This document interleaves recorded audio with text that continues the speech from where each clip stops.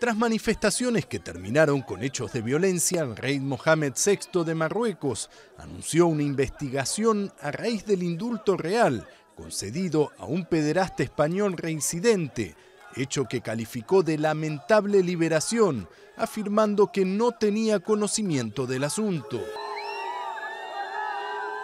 El descontento se hizo público cuando miles de personas salieron a las calles en diferentes ciudades para expresar su cólera, desafiando la represión policial.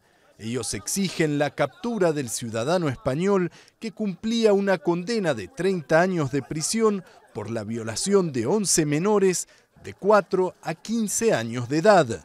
Según un comunicado publicado el pasado martes, el rey Mohamed VI ordenó la liberación de 48 prisioneros españoles en respuesta a una solicitud del rey Juan Carlos, quien efectuó a mediados de julio una visita oficial a Marruecos.